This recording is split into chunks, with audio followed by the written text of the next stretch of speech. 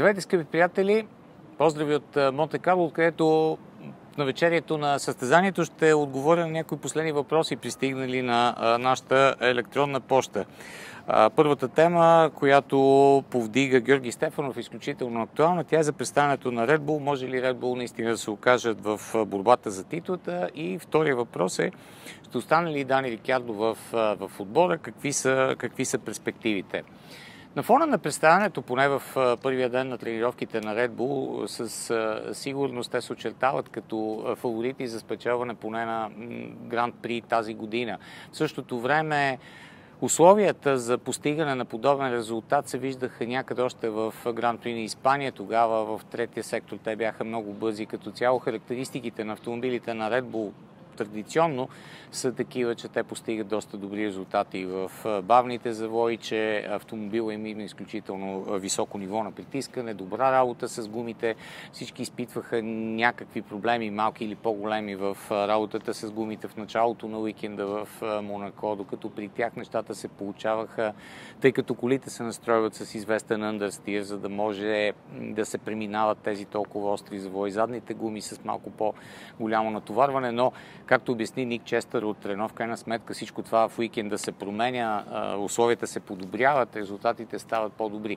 Но, в крайна сметка, може ли наистина Red Bull да, да влезе в битката за титлата при определени обстоятелства и при едно добро развитие, каквото сме наблюдали при тях в, в миналото, си мисля, че това би бил един много интересен вариант, напълно възможен при това.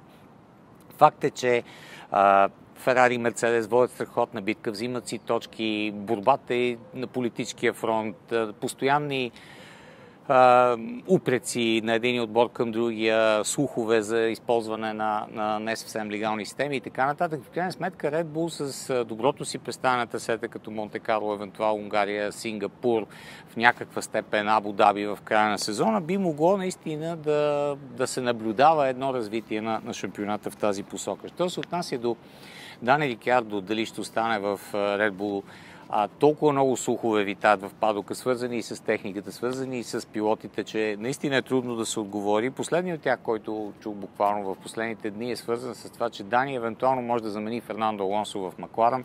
Има много сериозни а, така, условия, добро предложение направено към него, особено след пристигането на допълнителните пари от семейство Латифи. Така че да видим дали този слух пък няма да се окаже верен. Иначе да, има пряки комуникации между неговия менеджерски екип, не той самия и, и Ферари, Мерцедес, но, но наистина това са неща, които, които само можем да, да спекулираме.